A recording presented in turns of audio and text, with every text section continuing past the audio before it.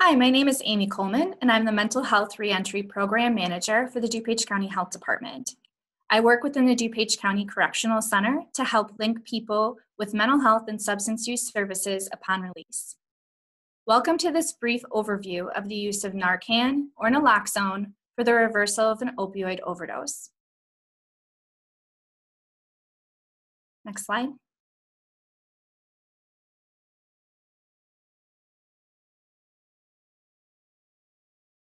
Today, we are going to be talking about the basics of understanding the opioid overdose problem in our community.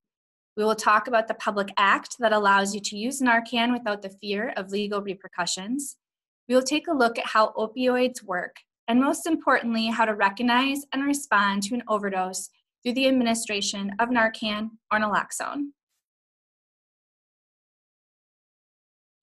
In this slide, we're looking at the past few years of data as it relates to opioid overdose deaths and opioid overdose reversals, or SAVES, in DuPage County.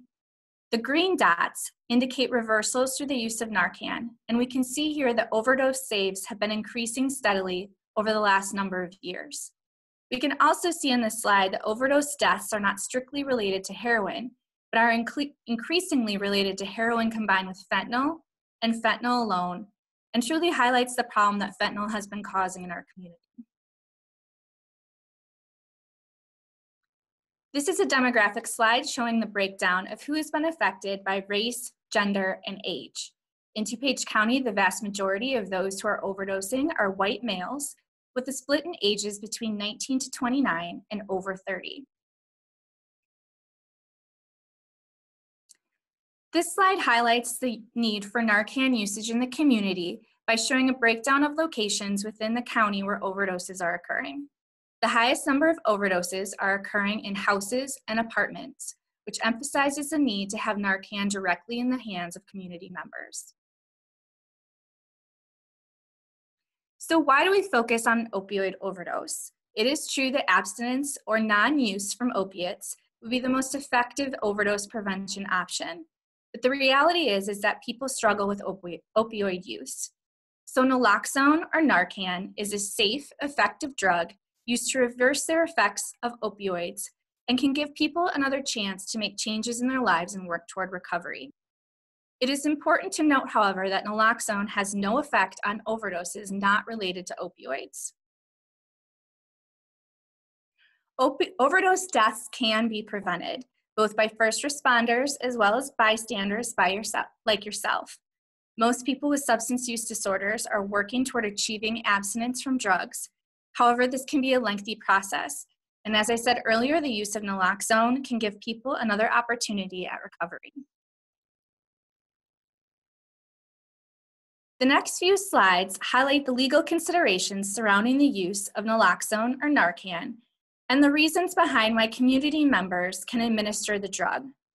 Narcan is a safe and effective tool, and the state of Illinois has made it a law that if a person is administering Narcan in good faith and they believe that a person is suffering from opioid related overdose, that if there is a negative outcome, that there may be no legal, legal repercussions.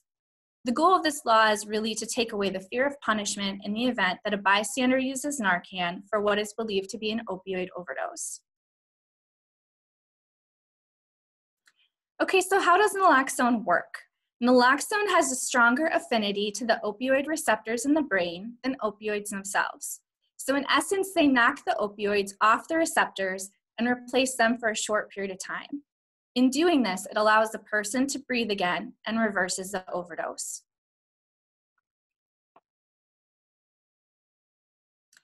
Narcan assists with opioid overdose for all opioids, but not all opioids are the same strength. There are multiple opioids on the market, both legal and illegal, to codeine at the minimum to fentanyl and carfentanil at the maximum. So it's important to recognize that drugs found in the street may be much stronger than a prescription medication. Risk factors that contribute to an overdose. So these are some of the things to be aware of if you are wanting to assist someone who may be at risk of an overdose. A person's individual tolerance can raise over time with use. At a time when a person's tolerance has been lower, such as after a time in jail or prison, after detox, or after treatment, a person's tolerance may be lower than they anticipate. During this time, a person may use the amount of drug they believe they have a tolerance for and subsequently overdose. Mixing substances, especially other substances that are central nervous system depressants, such as mixing alcohol and opioids. And then the next few are some common sense risk factors poor health, previously experienced an overdose, changes in the strength and content of street drugs, and using alone. So there are some very important differences between what a person looks like who's extremely high and a person who is overdosing. A person who is really high will show relaxed muscles. Any speech that they had will be slurred or slowed. They'll look sleepy and keep nodding off and they will respond to stimulations such as yelling, pinching, or a sternal rub. On the flip side, a person who is overdosing may have a deep snore or gurgle, also known as a death rattle. There will be infrequent or no breathing and a slow pulse. Their skin may be pale and clammy, and they'll have a heavy nod and respond to no stimulation. Narcan is specifically for those people experiencing an overdose. So if you attempt to wake them and they are unresponsive, it is likely you will need to utilize Narcan. Next, we have a video for you to watch that demonstrates the steps taken to use naloxone.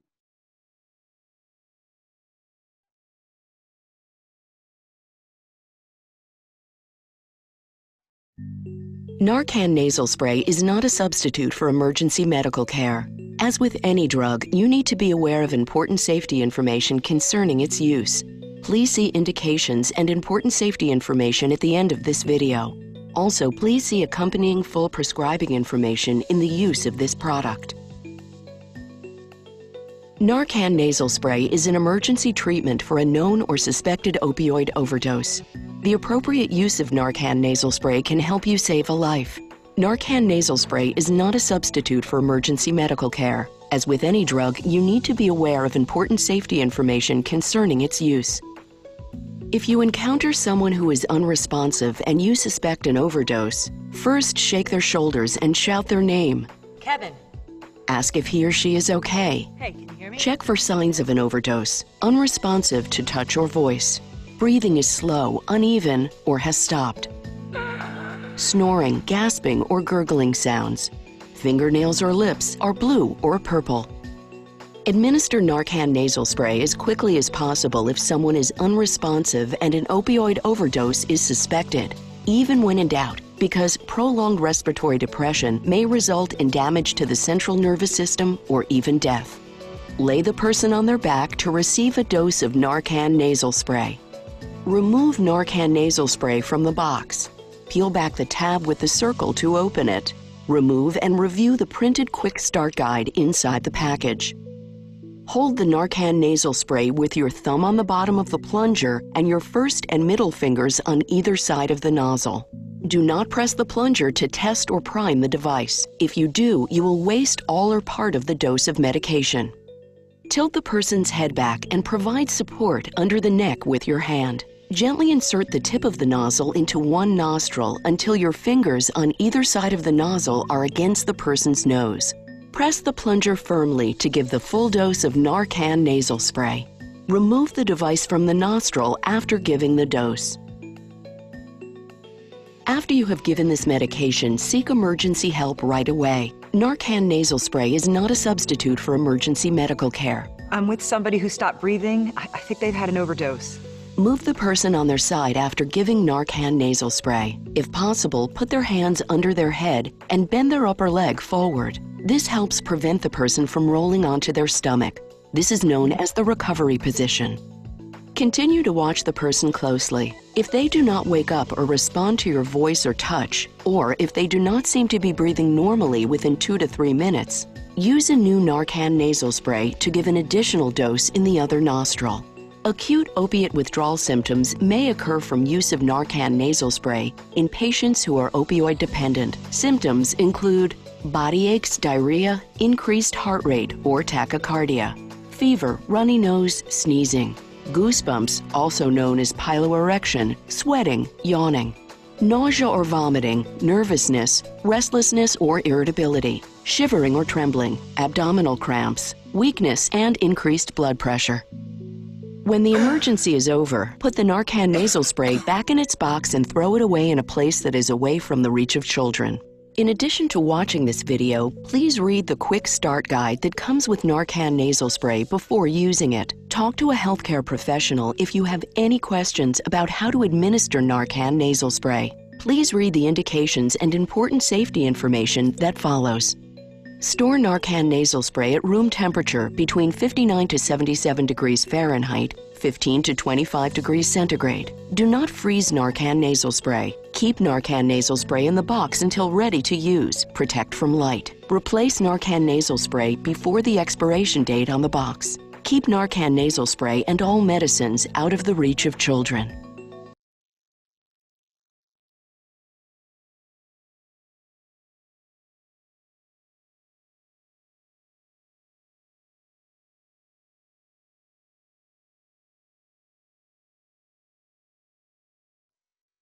Okay. It's important to understand from the video that once the Narcan has been administered, that the emergency is not over and that 911 should be called immediately.